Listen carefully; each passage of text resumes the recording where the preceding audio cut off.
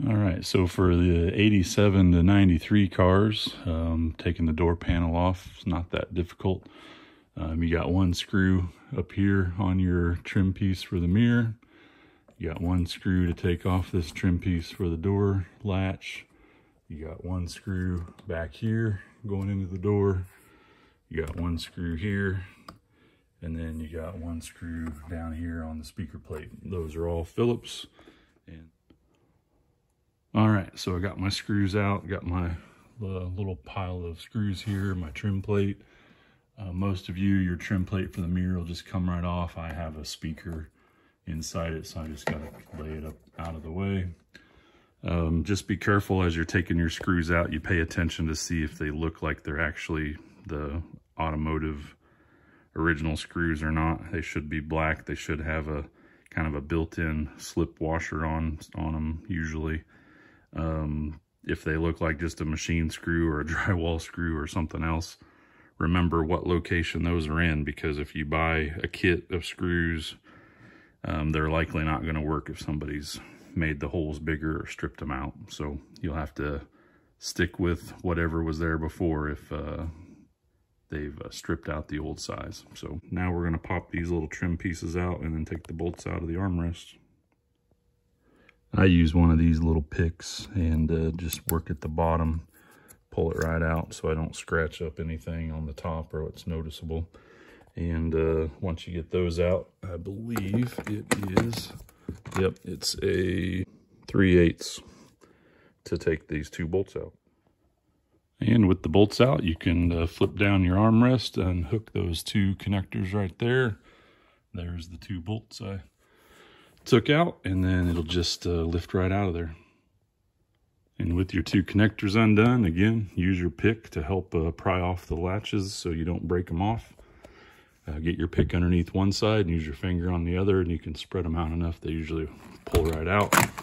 And then once that's done, um, this will come right out.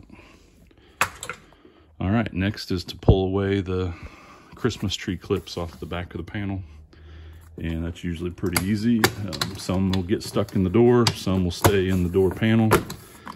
Um, if you have any that are fighting you, feel free to get you a trim tool to help pry them out. But uh, I've had mine on and off several times, so makes it pretty easy. I just ordered a new package of clips. I'm going to replace a few of them so they don't pop out uh, when you don't want them to.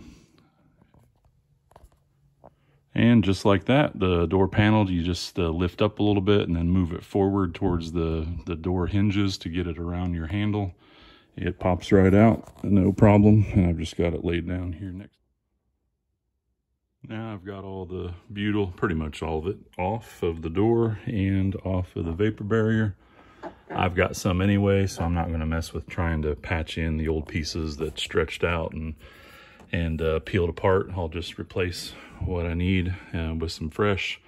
And here is the door. You can see I got some sound deadener pieces in there. Uh, that was left over from a project in the trunk. And I just took some leftover pieces, covered in a lot of the holes to make it a little more quiet. I've also got a couple pieces on the inside. Um, behind here, I rolled the window up, put a couple on the outer skin in the big flat areas, and then when I was done with that. Put these pieces on some of the flat areas and then where the holes are. So when I go to adjusting the window, I'll have to cut cut out some of this and in these bigger holes and then just put it back when I'm done, stretch it out a little bit and it'll be just fine. And as a final step, since this is going to be apart for a while um, and no rush to put it back together because I've got a lot of projects to get done before I'm ready to adjust the windows again. And uh, I'm just taking this apart now as part of my disassembly time. So I just went ahead and put the door handle back on, plugged the connectors in so everything works. It's easier um, than this thing hanging down, trying to use it for the windows and locks and stuff. So I've got that bit back in with those two bolts and it'll just stay like that for the next couple of months probably. So, And don't forget, get to uh, bag up your parts so you know uh, what goes where. All right.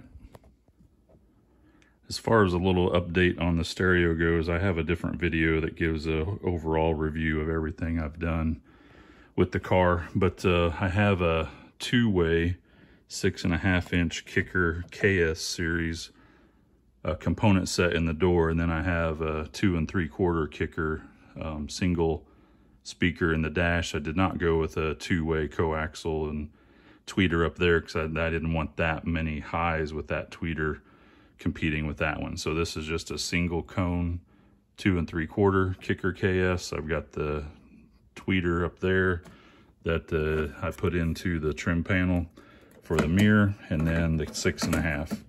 So it came with a, a separate um, crossover and what I've done is I found a spot. Um, there was a flat metal bracket that I could just uh, double-sided tape that to, and then I used some butyl to keep my wires in a few spots, uh, prevent rattling and keep the wires so they won't move away because you don't want anything to get back behind and into your door and window um, mechanism or you'll have a bad day. But all of that is well away and uh, secured with butyl or zip ties, other things like that. Um, I don't need to get in there and move anything. I don't care about seeing the crossover somewhere on a panel in the back. I just wanted it out of the way. And uh, putting it right here meant I didn't have to run near as much speaker wire um, between speakers and the crossover and the amps. So um, this was my solution. And uh, then I put a foam housing um, back behind the speaker so no water is going to get into it. And that's just a single piece foam, uh, kind of a cap that you can put in the door hole and then put the speaker in to seal it off from inside the door.